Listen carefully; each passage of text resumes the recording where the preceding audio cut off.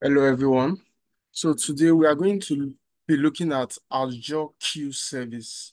So I'll be sharing my screen now. So when we started this series of um, storage accounts, I mentioned that we have four categories of storage services within Azure Storage Account. We started with um, blob container. We also looked at table storage, and we are looking at the third one now, the third service, which is the queue service.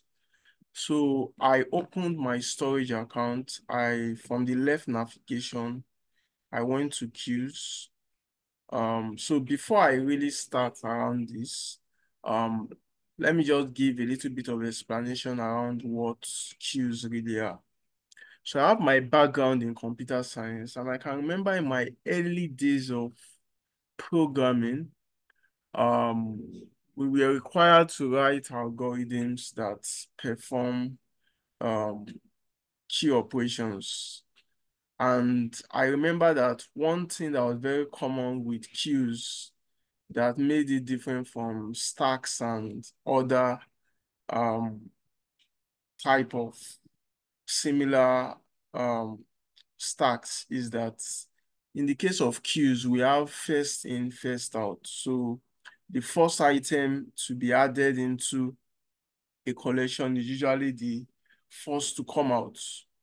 So that is that about queue. And it also mimics what we have in real life. I mean, if you are in a queue and you arrive there before someone else, you are usually the one that would be answered to first.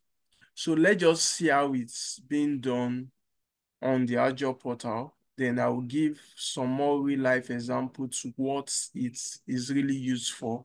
Then we look at a little lab session using Visual Studio.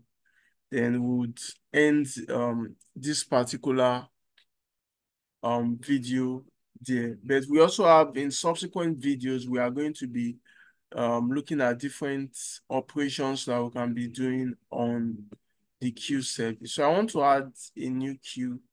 So I give it a name. Um, I can call it second queue because we have um a queue there already.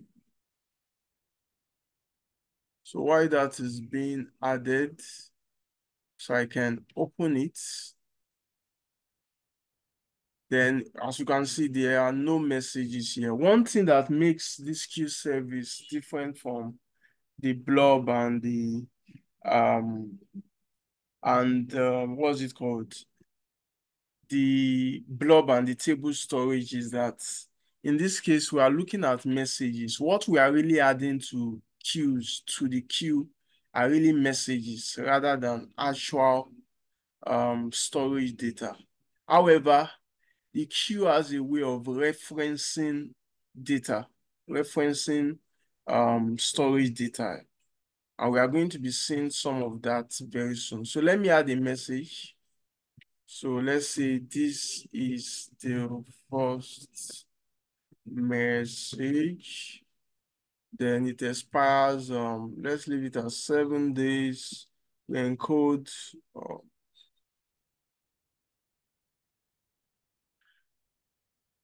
we can add a second message.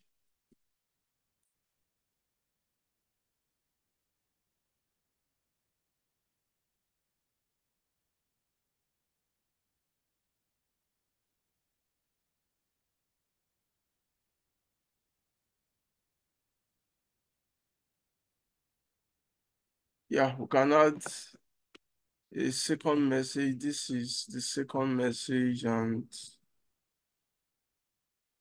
so let's add one more. Third message.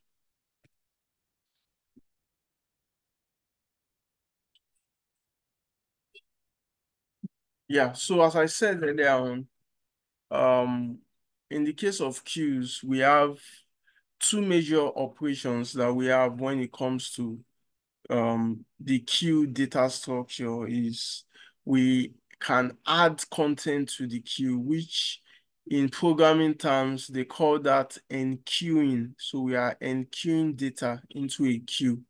Then if we are removing a message from a queue, we are dequeuing data from the queue. So what I just did now is to enqueue messages, the first, second, and the third message. And now we want to dequeue. So if I should dequeue, one of these messages will go out. And as I said earlier on, um, this data structure, one thing that um, for the rest of my life, I would always remember about queues is first in, first out. Call it FIFO, F-I-F-O. So because this was the first message to be enqueued, ordinarily it should be the first to come out. So if I should dequeue, yeah, the first message is out. If I dequeue again, the second message is out. And I can also choose to clear the queue. So I'm removing all of them.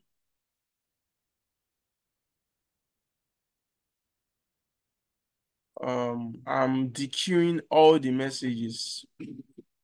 So we also have that out of our queue. So with that, um, that's how we can add messages and that's how we can remove messages. However, um, this usually we don't interact with queues from the portal. We usually do it through Visual Studio. And I'll be um, shedding some more light around this very soon. So before we actually do that, let me add the message again. So let me add, um, let me say this is the fourth message. I want to explain some of the properties over here. So we have an ID that uniquely identifies this queue. We have a message text, which is the content of that enqueued data. Then we have an insertion time. That's the time at which the message was inserted into the queue. Then we can also specify an expiry date. That's at that time, the queue, I mean, the item that we added will be um, deleted. Then we have the queue count. This can be a little bit confusing, but it really isn't. So anytime we dequeue a message, especially when we are using Visual Studio, when we dequeue a message from a queue, um, it's actually not being deleted. It's actually hidden. It's hidden. So it's possible that we can try to, or probably another application or something, and there's usually a visibility period. So when that visibility period is expired, it's possible for another application to try to dequeue the message again. So if that happens again, the dequeue count will increase. So that's why there's a dequeue count here. So that is that about that. So um, let's go to Visual Studio now. I've been talking a lot. So let's go to Visual Studio and we'll see how we can do some of these things from Visual Studio. So I'll, I'll be working with the first queue. Let me confirm that it's empty. So there's nothing here. There's no message here. So I'll stop sharing now. And now I will be sharing my Visual Studio.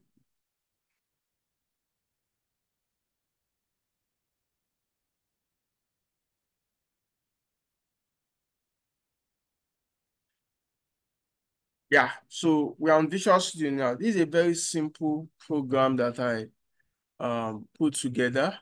So when we are working with queues, we need to import our library, azure.storage.queues, which we have over here. Then um, when it comes to um, initializing the queue client, this is something we've done. We worked with it in table storage. We also worked with it when we were um, working with blob containers also. Still the same process. The only difference is the class name. So previously we used service clients, then we use service blob clients. Now we are using queue clients and um, we are um, calling this, cons this constructor method and we are passing in the connection string that we got from the storage account, the storage account connection string, and the queue name. So this is the queue name here, the queue name from Azure portal. So this is assuming that the queue is already created. So we want to send messages to the queue. That's why we are using this array here. So if um if this queue exists, so if this queue exists, then this message that was initialized over here, we are assigning it to message um the uh, the uh, the queue number of first queue service because um, this is static because that's the name of the queue. Then we also send that message to the Azure portal. So we are sending the message. So this send message method is from the azure.storage.queues and we are calling it using this underscore client object that we initialize from the queue, queue client. So we are passing the message. So for um so from this we you can see that this is going to work five times. So we are sending multiple um messages to our first queue service. So I'll be running this program without wasting much time and I'll be sharing my screen. So let me share my um the output screen so that you see what the output looks like. Yeah, so you can see all the messages have been sent. So we are going to confirm this if this is truly the case from the Azure portal. So let me stop sharing. And I will share, I will go back to my Edge browser. Yeah, so you can see the first queue, it was empty. I will refresh now and if everything works as it should, then we should see our messages over here, our multiple messages. So I'm refreshing and we can see it now, the five messages. So that's because we, our, um, the loop starts from zero and moves to less than five, which is four. So we can see our five messages over here. So we can obviously dequeue.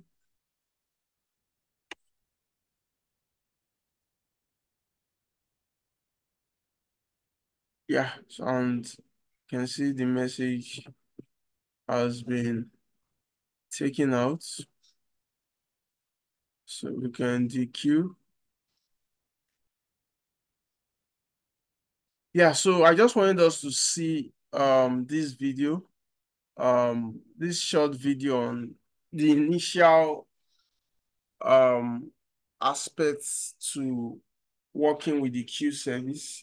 So um I will be giving a more real life example in our next session, in our next video.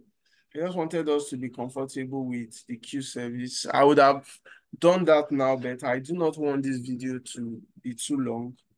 So I'll stop here. So have a nice day.